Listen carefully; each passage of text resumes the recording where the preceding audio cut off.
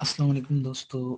आज मैं आपको कुरान पाक के अंदर कोई लफ्ज़ या जुमला तलाश करने के लिए एक वेबसाइट बताऊँगा। उर्दू में तलाश करनी हो तो।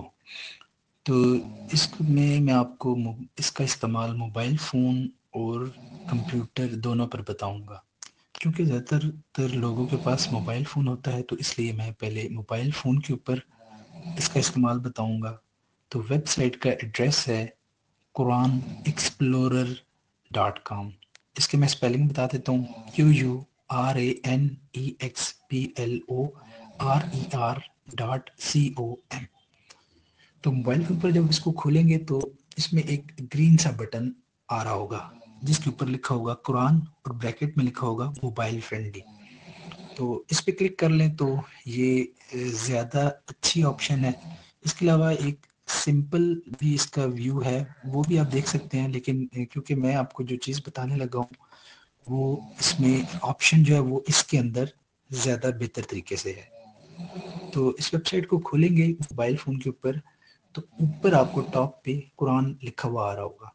उसके ऊपर आप क्लिक करेंगे तो एक ड्रॉप डाउन खुल जाएगा और उसमें एक सर्च की ऑप्शन आ रही होगी।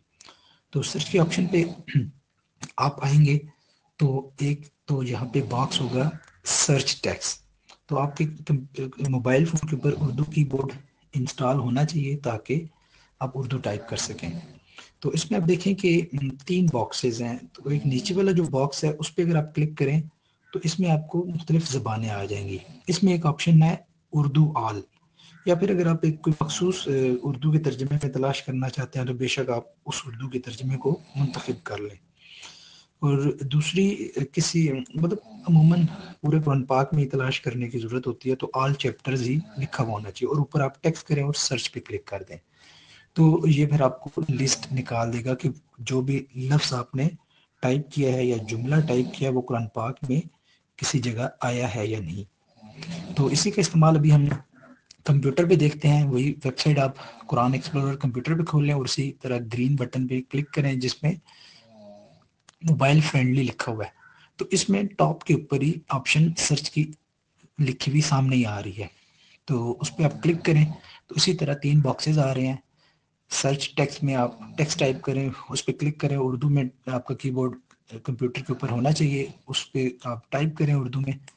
फिर आप इसमें इंग्लिश ऑल लिखा होगा, इसको सिलेक्ट करके उर्दू ऑल कर दें, या कोई एक मखसूस तर्जमा कर लें जो भी आप करना चाहते हैं। और सर्च पे क्लिक करेंगे तो फिर आप उर्दू में सर्च कर सकेंगे। लिस्ट आ जाएगी आयात की, उसके ऊपर क्लिक करेंगे तो उसकी वो तफसील खोल देगा। तो आज हमने ये सीखा है कि किस तरह हम कुरान पाक के अंदर कोई एक लफ्ज़ या जुमले को तलाश कर सकते हैं उर्दू में। बहुत बहुत शुक्रिया। अस्सलाम वालेकुम